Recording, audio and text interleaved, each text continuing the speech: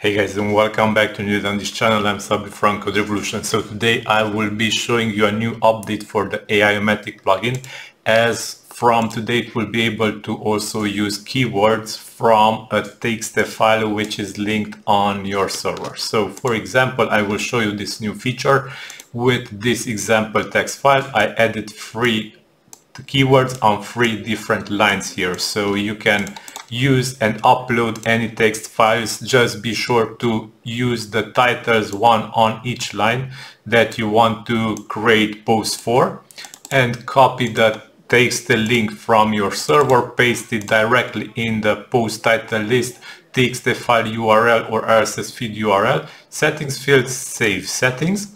And we can go now and uh, check our website it's empty and if we run importing the Aiomatic plugin will generate content for the text for the content of this text file and it will post it to our site. So we can wait a bit to the green check mark to appear and afterwards we will have here a poker related uh, article and if we run importing once again the plugin will select the keywords that are not posted yet. So if we check this, we will see this is already posted. So how to play online poker in US, how to online poker United States, play poker in United States. And if we refresh our site now here, we will get another article online poker in United States. And if we run this again,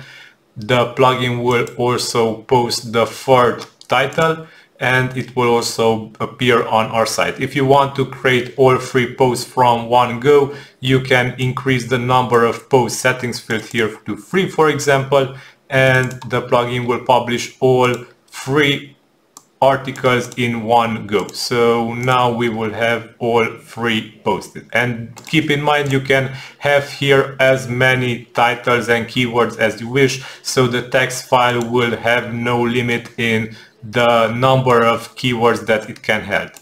So you can also use multiple text files uh, each on a different line. The plugin will support this also so we can create another text file for example add there another list of titles and keywords we wish to use and the plugin will be able to use them.